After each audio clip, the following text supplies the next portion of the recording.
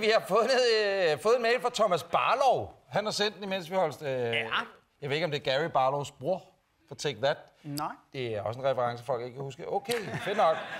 øh, han skriver øh, følgende til os. Jeg fandt en næsten halvanden år gammel post-it note med et tip til jer, som jeg havde glemt alt om. Den 28. juni 2015 i 22 Skammelsen.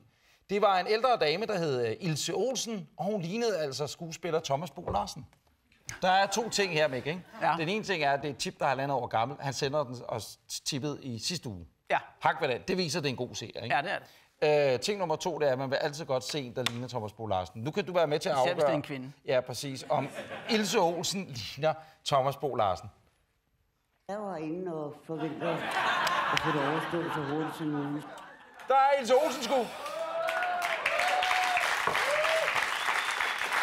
Har Thomas ret? Ja, det, ja, det synes jeg. Har du prøvet, har du prøvet at spille billard med Thomas Bo Larsen? Nå, han er benhård til det, Han er benhård, du. Ja.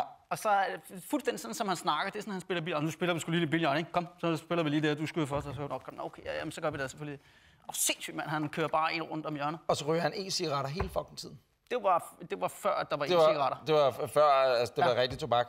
Ikke, men så går sgu lige der, så spiller du der, så skubber du til den, så bare. Ikke? Ja, modtaget. Godt. Men øh, vi, vil, han, jeg vil sige, at øh, vores seer Barlow har fuldstændig ret, fordi det er jo en til en med Thomas Bo Larsen, det der. Det er det jo. Ja, ja, ja, Det er det jo. Øh, vi sender en kop til Ilse, og ikke mindst også til, til herr Barlow.